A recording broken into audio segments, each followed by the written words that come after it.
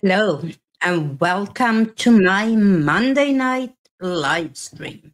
Today, we are going to do something interesting.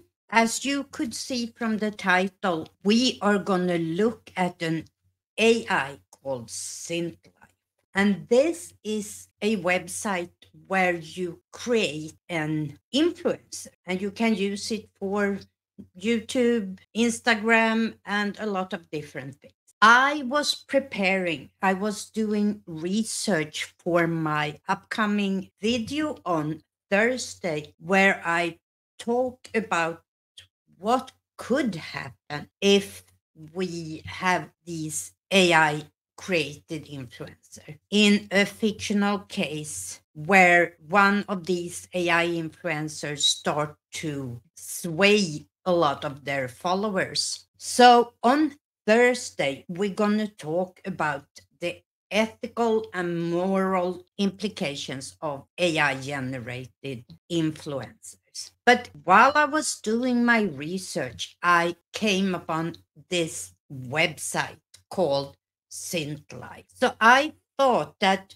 today would be a good day to take a look at what this is and actually create a influencer. So let's start by taking a look at this website.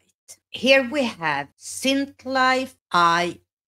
I am not today do any judgment whether this is a good or a bad thing to do. We are just going to look at it, how it works, what it's intended for. So, in large letters here, building a virtual influencer made simple no technical skills required.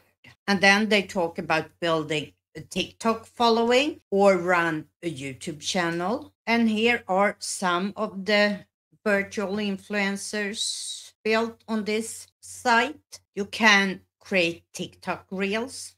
You build a unique face, and I will shortly show you exactly how we do that.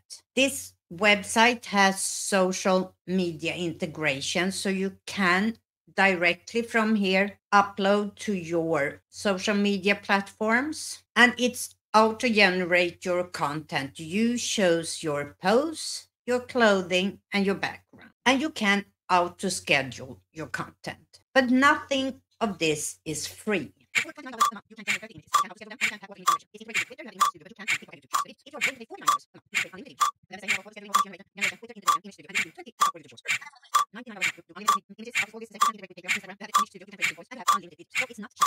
so how does all of this work? Well, here I am in my account. You start by creating a synth face. Here is mine.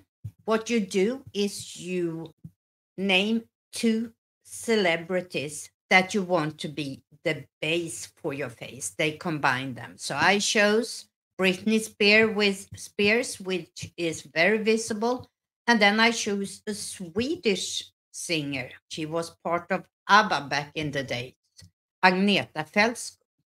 And the hair color should be blonde. So that is the very basic. I just create face. The purpose of this is to be able to use this face in many different positions. So when I'm done with this, I go to start creating content.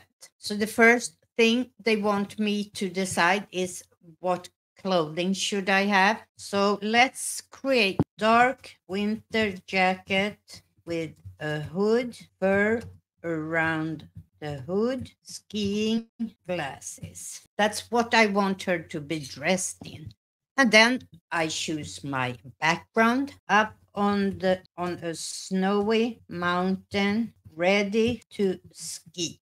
And then I can choose a body selfie. Here we just see the body, or you can close, choose a upper body there where you see the face most of the face and most of the body, or just upper body. So we are going to choose the upper body one. Then you can choose how many images you want to create with this specific clothing and background. Even though I chose eight, it counts like one creation because it's eight different versions of this one photo.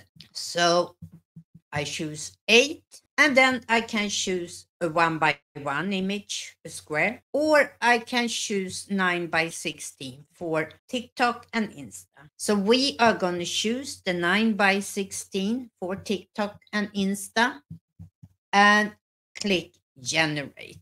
While this is generating, let's take a look here on the left hand side. Dashboard is where we created our face. Instafeed is here you can see what other people have put up on Instagram. Or you can see your creatives. I haven't done any for Instagram. Create images was where we were a second ago here, and it is still generating those. How to generate image Photo Studio, that was this one. Image clone is where you upload an image that you want clone. Create videos. I can't do that because I had a cheaper plan. Schedule posts. Gallery is where we see all the images we already have produced. Subscription is where we can manage our plan or upgrade if we want that. I as I said, just did the light plan. And then we have settings. And that's where we have the face that we created. Let's take a look at what we created. Let's first remind us a dark winter jacket with a hood, fur around the hood, skiing glasses. And she should be up on a snowy mountain ready to ski. And we should have this upper body image. So now we can see, oops, she is half naked. I don't know why up in the mountain. But here we have the half images. This is really weird how she has a shirt of herself on. But some of these are pretty decent. Let's say that I want to save this. I add it to gallery or I can preview in an image by itself. I can schedule this as a tweet and I have to log into my Twitter account to do that. I can download the image. Let's add that to our gallery too. And let's add one more. Only the images that I add to my gallery will be saved. The rest disappears. So these eight images just counted as one creation. And only the ones I sent to my gallery will be saved. So let's go to my gallery now. And I have a total of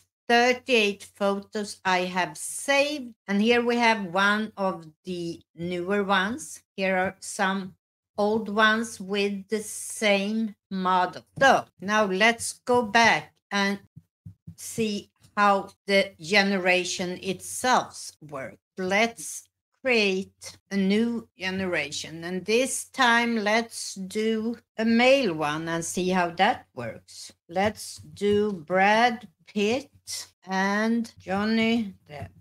And hair color, dark, and update. And now I will get a new face here. They are building the face. And as it says right here, try out different variations to see what works best for you. And it still created a female. Hmm. I guess we can't create male. Here we have the face it created from Brad Pitt, Johnny Depp, dark hair. So start creating content. We should have it smile and we can choose the random this time.